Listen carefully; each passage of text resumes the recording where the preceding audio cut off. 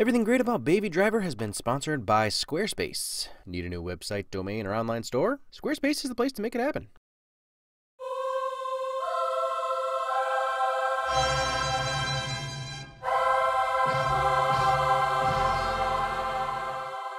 This opening scene is a masterpiece. Thank you, Edgar Wright. I could probably talk about it for half an hour, but here are the cliff notes or highlights that make it all a win. The first two shots isolate the most important elements of this film a car and music. We get a ton of exposition done purely through the visuals. The entire scene is perfectly timed to bell bottoms played over top, every door slam in tempo. Every beat is a cut to a character being introduced. And just by the coloring of Baby's black and white jacket, we're told that he doesn't really fit in with the black trench coat crew, even if he is caught between worlds.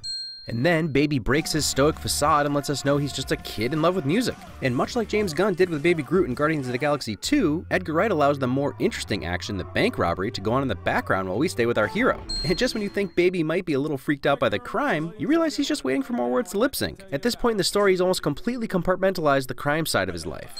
And fun fact, Edgar Wright has wanted to make this movie for a long time, because he always envisioned a car chase put to this song.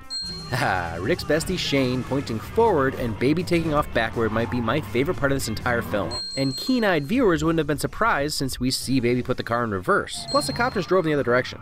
And then Edgar Wright surpassed a bunch of modern driving films with this one practically shot drift in about 3 seconds, honoring all the films that inspired this film. Also, just yup. Every single sound effect is on beat, in time. Light change, car crash, gear shift. Oh, yep. Cuts are quick, but not too quick. We spend just as much time inside the car as out, and since they're all actually in the car while it's driving at high speeds, it feels completely real.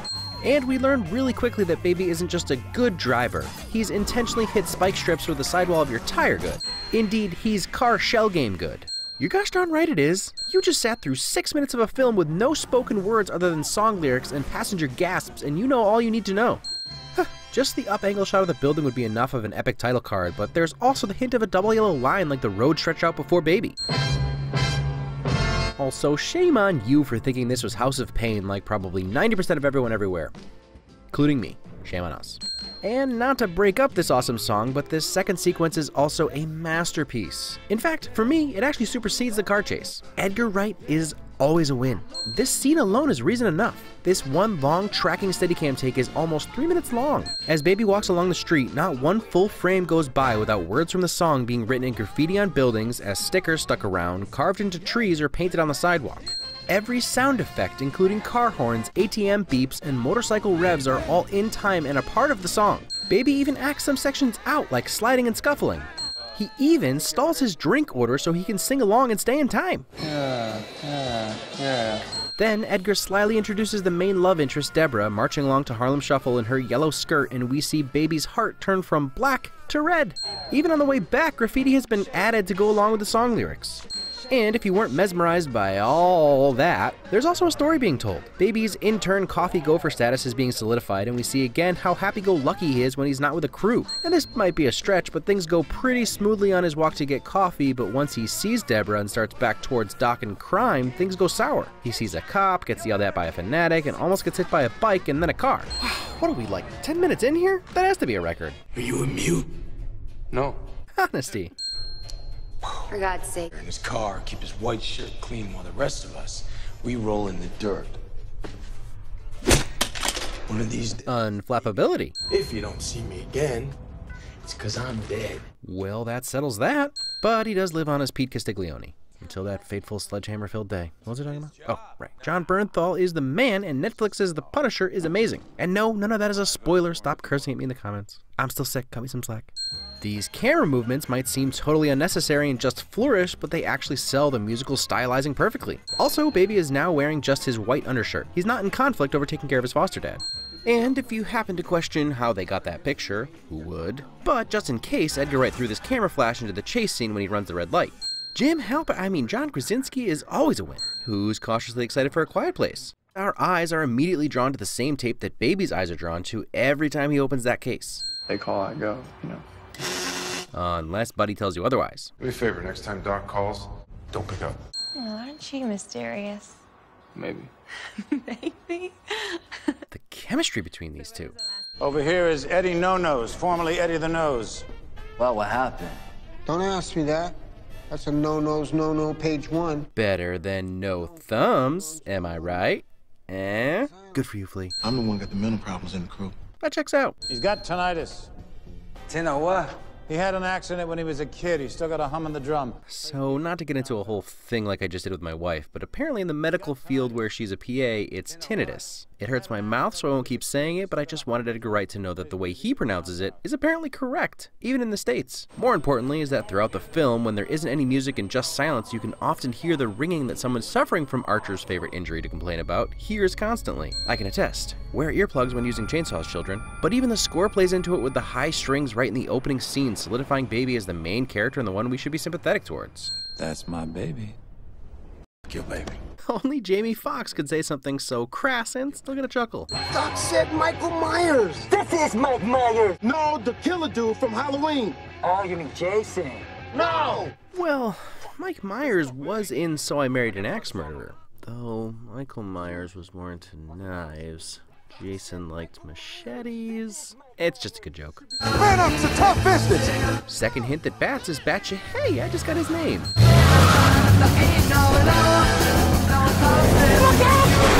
Yeah, maybe no more cops, but Neat Neat Neat doesn't say anything about Marines. Also, thank you Edgar Wright for exposing my huge gap in punk music with the Damned. Merciful incapacitation through skilled J-turn. Snap! So that's why my wife hates driving next to big trucks.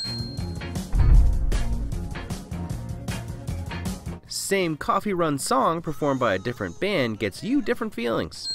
One of my favorite transitions in this film, a simple match cut, just not so simple to execute practically. Fun slow motion shot where Ansel is actually singing with a faster version of the song so that it's in time when the footage of him is slowed down. Deborah, the song I'm talking about. Who by? Trex. T-Rex? Ooh, been there, buddy. We've all got gaps. Apparently, it's not Deadmau5, and it's not called a meme or K dollar sign ha. Alright, I made the last one up. But the point is, foster kid who probably didn't finish elementary school is going to have some gaps in knowledge. You're in a pink and glittery mood. I am now. Flirting. Whatever the significance, I have some theories I'll get into later. This shot of only primary colors in the dryers is super pleasing to my brain. It's the finest whining and dining of all the wines and dines in town. It's the finest wine and dining of all the wines and dines in town. So most everyone caught this stolen line the first time through. But even I missed one of them. Listen to them all first and then I'll explain why they're important. you are so beautiful. Is that working out for you? They grow up so freaking fast, don't they? You and I are a team. Nothing's more important than our friendship. Baby is a sampler, as in he takes audio from other sources and incorporates it into his life, just like his little mixes. And, ironically, we're given all the original songs that have been sampled into more popular, well known songs. I think my brain might melt when I'm done with this movie. And just like a kid in love, he goes home to immediately listen to the song she talked about. Noel Fielding is always a win. So is everyone else from the Mighty Boosh. But they don't technically feature in the film. And this music video for Mint Royale was Edgar Wright's first stab at his opening to Baby Driver. I said we were straight, but did you think we were done? That that was it? He was careful about his choice of words. One more job and I'm done. One more job, and we're straight. And you're all straight, baby. That's it. Sure is. You're all paid up. Feeding your gal catfish dipped in gold. Is that a thing? Is that a thing people want? Should I should I want that? Love. And important scene where Deborah tells Baby, You don't have to worry about me. and she means it. She's in for the long haul. No bandit class. One out in the guard. Ten cameras. Eight registers. Helpfulness. Just say Bill, and she'll give you the big bills first. Chips off the old block. Don't you mean chip off the old dock? You're going up in the world. He is, but not in the way you want him to. I mean, literally. He's using the stairs even though Doc called the elevator for him. Holy calamity! This does not sound like Jet Airliner. However, I will say they added a whole different tone and emotion to the Steve Miller Band intro song. And the framing of each character near a door but on the other side of this dark room like a wall of darkness between them. Which there totally is. Does it exact same thing. Barbra Streisand. Darling, do you look like I know a f***ing thing about Barbra Streisand. Barbra Streisand lessons. What you ladies listen to? Queen. Queen. Streisand, now Queen. Yeah, you ain't got nothing on Freddie Mercury. He bought it a little later, but had nothing to do with the heist. Did he just admit to killing that guy by pulling his tattoo trigger? you should know by now it's not going to be Dre and Snoop. You want me to kill bats? Not before the job, silly. Hmm? The setup of the ultimate baddie is done so well. In the preceding scene, we're warm to Buddy as he reaches out to Baby, and then pits himself opposite Bats again with the whole Hex song argument. Then the very next scene, we find out that he is indeed a true criminal. From the jowl comes the God-sent Roman bacon that is guanciale. So this whole guns as pig product speech is exactly as overwrought and pretentious as I'd expect from the guy who wrote Rainbow Connection for the Muppets movie. I'm just curious how he thinks Kermit will feel about him using Miss Piggy in his analogy. Okay, so the opening scene's amazing. The dance number long take is amazing. But as far as timing and essentially playing music with gunfire goes, this shootout takes the freaking cake. Go back and watch this scene again. Not one gunshot is out of time. Even the volume and duration of shots are musically appropriate. As Paul Williams says, Fantastic. Also helping your girlfriend out of a jam. At least it better be what he's doing since she was already firing. Sometimes it's just too much. Too good. Ooh, you know I'm gonna list off a bunch of awesome details in the conclusion, but some are just too good to not bring up now. We actually see Baby grab a crayon and napkin to leave this note and then is bent over writing it. Good stuff. Maybe you disappear into a world consisting of three things money, sex, drugs, and action. What that's for? Counting win. I got this. Saving your new, almost girlfriend. Bananas. I did not hear the word bananas tonight. Maybe you just had something clogging your ears. Why don't you play us something, baby? One of those situations where you actually feel at ease because we know he does actually make mixes. But then Doc picks the wrong tape. I don't squeal to the cops, I squeal on the road. Now, I'm not slow, I'm fast. And it's actually refreshing to see Baby finally stand up for himself in the only way he knows how, repeating everyone's lines back to them. But it goes a long way in making his final decision to move in the next scene seem right in line with where his head's at. And brutal. He moved come uppance, and a total expectation subversion. The news report was setting up slippery roads and construction, Scattered thunderstorm advisory through 4 p.m. Ongoing construction work. foreshadowing what's going to be a tricky escape by car, and then bang! The guy you assume will be the main villain is out. And he had to be. Baby knows he was itching to kill him and Debbie, so he had to go. And one more awesome timed flee, this time on foot. Perfectly synced with Focus's Hocus Pocus and another amazingly used song. Having Baby take a break to hide during the calmer yodeling section and then take off again once the electric guitar rips back in. I know it's not new to use music to set the pace, but Wright did it in reverse order by picking already written songs before filming the scene. And if you think about it, skill on the road is about thinking ahead and quick reflexes. So I believe he'd be good on foot as well. This, this is why people love Edgar Wright. That's a practical camera movement. There were a million easy ways to film that shot, but no, he had the camera operator back out of a van to make this awesome aesthetic. We gotta get out of here, alright? Thanks for back. Deaf guy jokes. Never Never Gonna Give You Up has taken on a whole new meaning. Something I brought up in Scott Pilgrim is how Edgar rarely uses the same shot twice. It's something you'll notice in Baby Driver as well. You'll also notice in this scene especially how the camera pushes in on every actor, bringing them all closer to our perspective and ramping the tension. We're doing just fine. Isn't that right, baby? Nice quick thinking. And defending the woman you love is as good a reason as any to start using guns. Can you show me where you've been shot? Yeah. Right there. He asked. And when the show was finally finished, I'll be taking my bag. How many cameramen died in the making of this film? Okay, go get your tape. I think something to remember here is that while, yes, Doc does threaten Deborah earlier, Waitress girlfriend, she's cute. Let's keep it that way.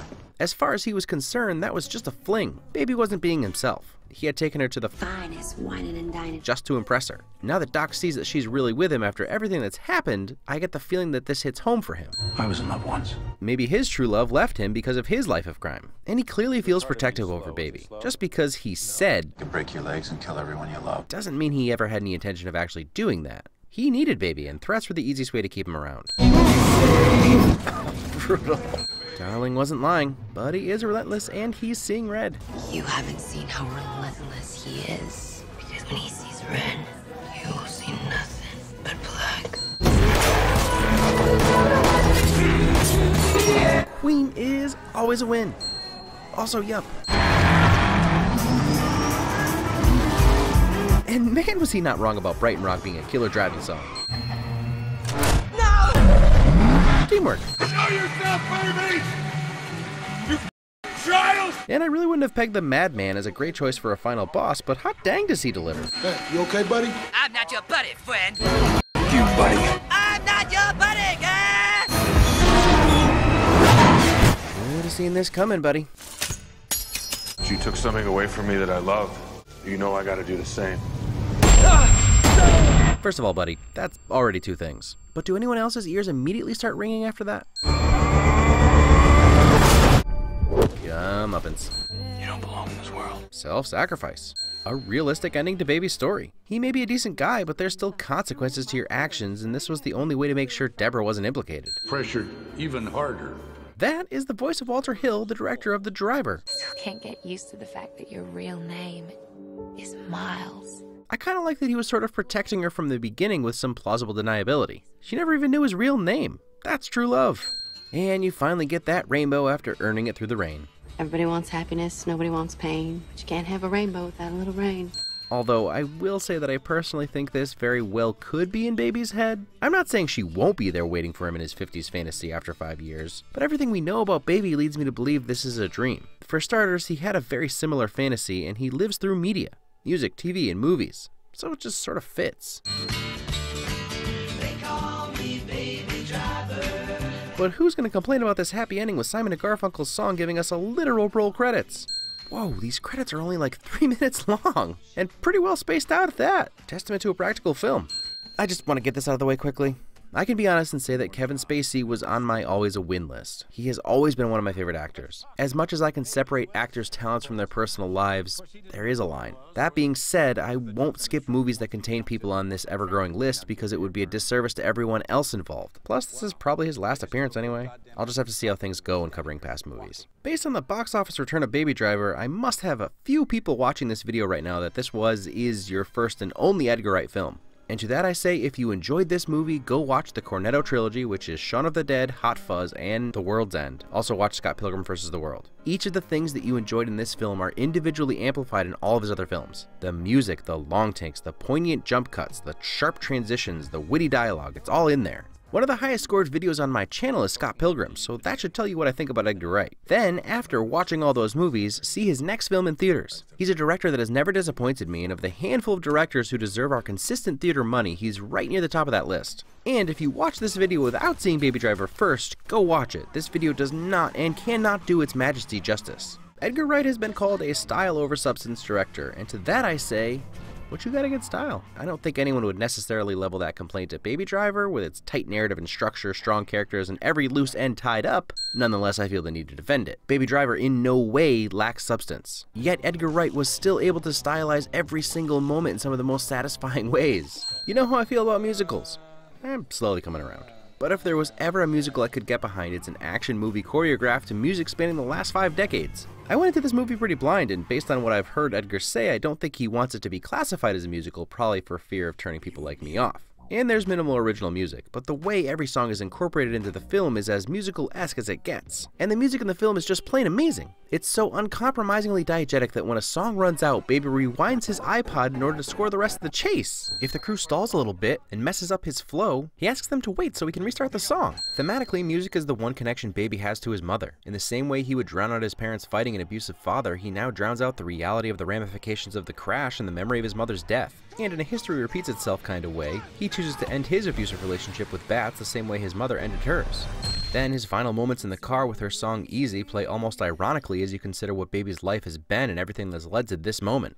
But it's not melancholy. It is easy for him to choose Deborah over himself. One of the few things I didn't touch on outside the obvious is the color coding of the characters. Bats is obviously always red, red, red. Buddy is blue, blue, blue, and Darling is pink, violet. I talked about Baby's jacket being caught between his two worlds, and his glasses progressively get lighter until he's actually missing a lens by the end, showing how he's finally not blinding himself to the crime and taking some responsibility. Then Deborah and Baby's mom wear yellow and have light hair. The bands on the money are yellow, she's lit with a yellow light at the diner. Yellow signifies moving forward and leaving his life of crime behind. You know I gotta talk about attention to detail. I know I'm not an Easter egg channel, but when it comes to Edgar Wright, they're woven into the film so beautifully, each is its own win. And the reason the detail lists are always so long in Edgar Wright's films is because of how detail oriented he is and how often awesome details repeat. Transitions. Less of them than in other films, still epic yet understated and smooth, like this little eyeline transition. Or how you start to realize the reason Baby has all those different iPods is because he's been boosting cars since he was a kid and stealing people's iPods. The one he got as a gift got smashed in the crash. Or how his undershirt slowly darkens as he slips to the dark side of crime. Or how often someone predicts the sound with the point of a finger. Right. Here. You're going up in the world.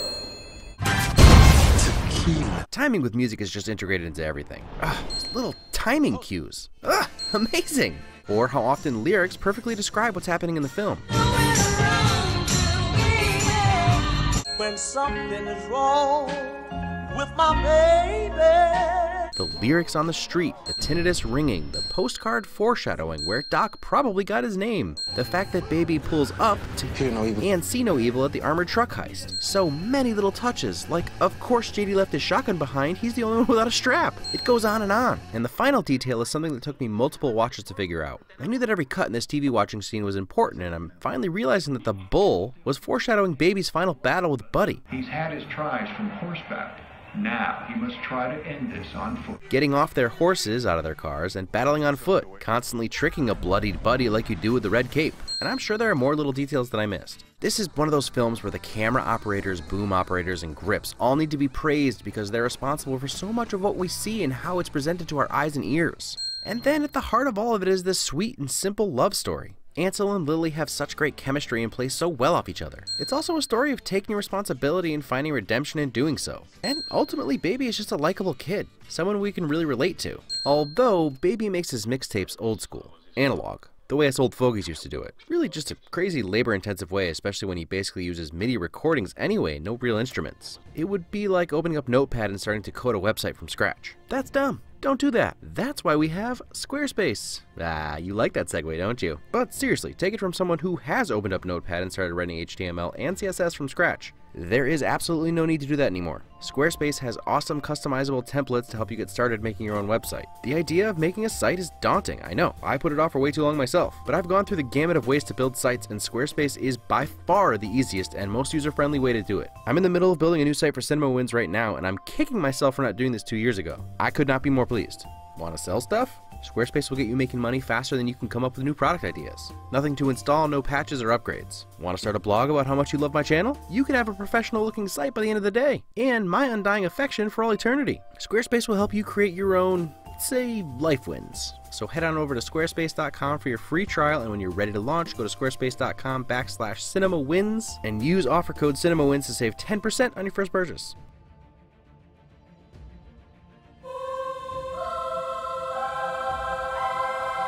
Over here is Eddie No Nose, formerly Eddie the Nose. That's a no-nose, no-no, page one. An insider with a nasal problem. The nose bag is empty. Someone at the depot has a nasal problem.